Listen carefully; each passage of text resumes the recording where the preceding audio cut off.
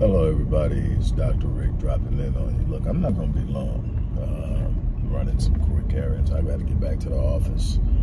I have a uh, session in about 40 minutes or so, but I uh, want to touch on something. Uh, I saw a quote that people were commenting on, and it just illuminated just how misdirected, misguided, and lost we are right now. And I want to talk about it. It was a quote by Minister Louis Farrakhan. Now, let me be very clear and before I get started, this is not a discussion, a debate, validation, or any other thing concerning the messenger uh, this isn't what this is about. I want to focus on the message. And the message, or the quote was, that a man is not complete until the right woman completes him. And there were quite a few comments. There were a lot of things going on. And, and so eventually I was invited in. And uh, my response was simple. But in order to understand where that's coming from, you have to have an understanding of universal law and divine nature. A lot of times we are attempting to operate through social constructs given through us through culture, through what we believe to be cultural evolution and uh, the development of new insights and we figure we know better than history and we know better than nature, we know better than God, and so we decide we're going to redefine the rules. Uh, we are trying to neutralize roles as if there isn't a divine order, and I, I saw a post that sort of pointed this out that simply says, let's stop pretending that there aren't natural or divine roles. Uh, and the analogy that was made is no man is going to have the burglar alarm go off his house and send his wife down to see what's going on. That's a natural order. That's a reason why. That's a reason why men are bigger, generally bigger and physically stronger than women. There are natural roles that we fill. Uh, there's a reason why the black, I mean, there's a reason why the male brain uh, works from front to back and the female brain works uh, left to right. They function differently, they process differently, they move differently, and between the two, they cover a vast space of possibilities, options, situations. Um, so physiologically, emotionally, psychologically, and spiritually, we're different.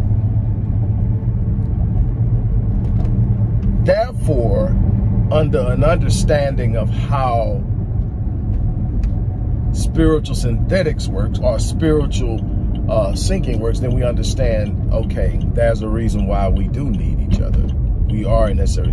But the idea of a man saying that he isn't complete unless the right woman completes him sends in the question, well, am I not complete?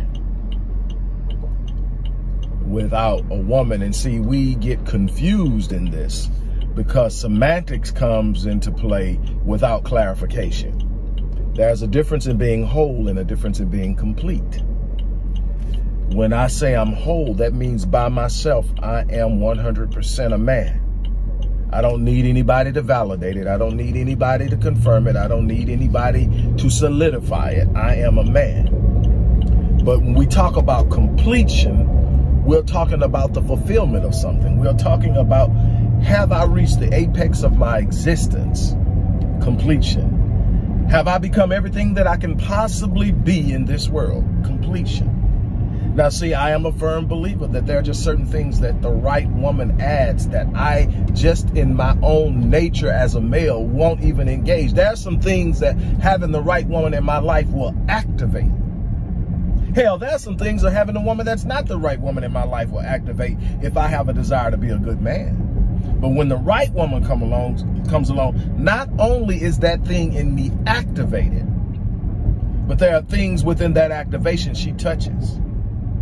She brings her spiritual womb along. I don't have one. She brings her spiritual womb along. And in that spiritual womb, she takes and she incubates the very vision that I've been carrying in my mind, my heart, and my spirit.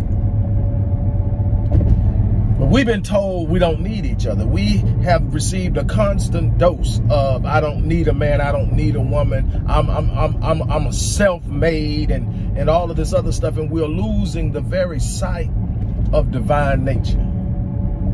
The thing that says we are for each other.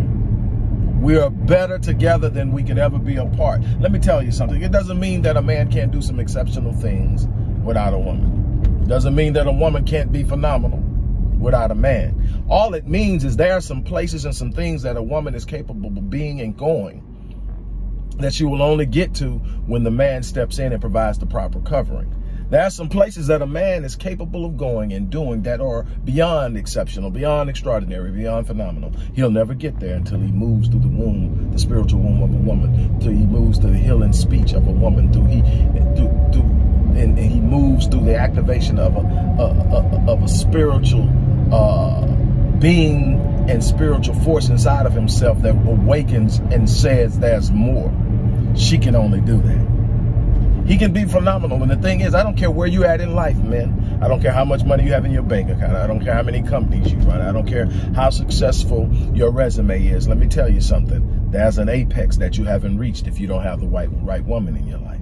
Stop buying into this cultural nuance that you can do it by yourself. Stop buying into we weren't built to do it by ourselves. Can we? If we have to, absolutely. But we will never be the best we can be alone. Period. There are just certain things I'm not built to do at the height that it's meant to be done. Can I be intuitive? Can I be spiritual? Absolutely. I'm a spiritual being. I can. But she's built for it. She's made for it when she comes in right, she comes in with insight that I miss because I am built on accomplishment, moving my hands, my accomplishments, all those things. There are things she's just simply going to see better than I see. There, there are obstacles I won't see, she will. There are pitfalls I, I won't see, she will. There are times that I'm going to hit a wall and the wall is going to seem immovable to me. And no matter how uh, fixed I am on finishing, I'm going to need somebody to whisper, you got it. She's going to do that. And she's not going to just do it for the sake of doing it. She's going to do it because she believes it at the deepest core, deepest part of her being. There's something inside of her that's connected to something inside of me that has made us one. And as one, we are better in, uh, with my with my masculine energy, with her physical, with her uh, feminine energy. We have now synced and we are pushing a synergy that brings both masculine and feminine together in a way that it cannot be emulated or duplicated and there ain't nothing nobody can sit up with any social construct to overcome that black men, black women, we got to get it together. That's something that I have talked about, I have written about, I have lectured on, and I'll continue to push the love of the black man for the black woman, the love of the black woman for the black man, the rebuilding and the restoration of the nuclear black family. It's so important. We are being destroyed because we are allowing ourselves to be separated, divided, and pitted against one another homes are being destroyed and children are being left uncovered because we are seeking what we believe to be best for us. If you ain't serving something bigger than yourself,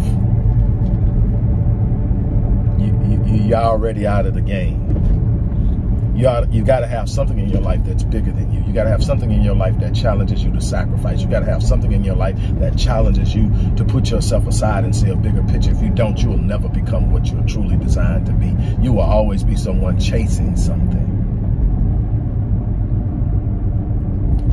So I agree with the minister. As remarkable as I have been in my life without the right woman, I will never reach my full potential It doesn't mean that I haven't done some remarkable things. I have. I've lived a life that most people won't. Not that they can't, they won't.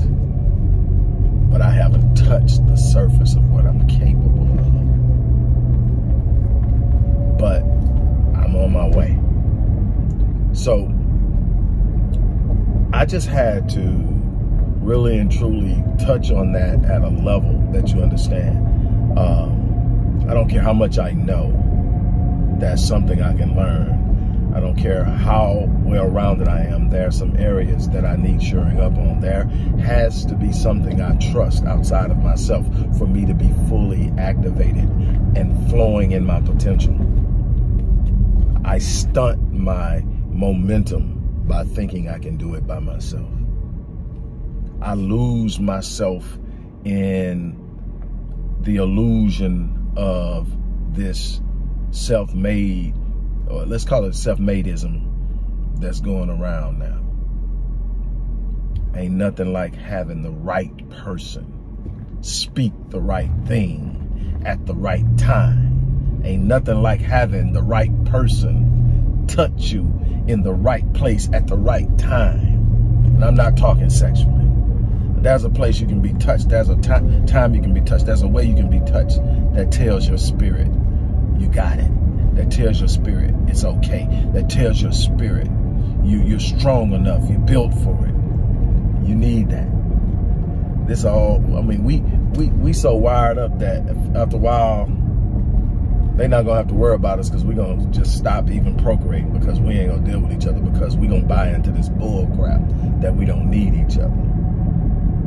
Let me tell you something, ladies, and I'm gonna end it here. I read, and Lord knows I believe this, I read a statement that said, when a man chooses love over respect, he loses both. What is it saying? It's saying that there's nothing more powerful and potent and necessary for a man beyond respect. Matter of fact, the way you love a man is through respect. If you can't respect him, you can't love him. You can say you love him. You can have emotional feelings but love is, is an execution of behavior. Love is a benevolent act of doing things and you can't love him if you don't respect him because the moment you don't respect him, you start to break him. You start to crack him. You start to, if especially if he actually loves you. So let me tell you something once again. You've got to understand this thing. A man needs to be respected and needed more than he needs emotional security. He doesn't need you to tell him he love, you love him. He needs you to respect him. And on that note, I'm gonna get me a breakfast sandwich and get back to the office. But I had to share that with you. On that note, think about it. Also, support the work we're doing at the Odyssey Project, one of which is teaching young black males how to move in their manhood um, and helping young black females come out of situations uh, that may have mislabeled them, mishandled them, mistreated them, and to recover and to heal. Uh, to create uh, avenues within the community to close the wealth gap, all of these things. I'm challenging you to help us. The, the information is in the description box. On that note, I'm out of here. You guys have an unbelievable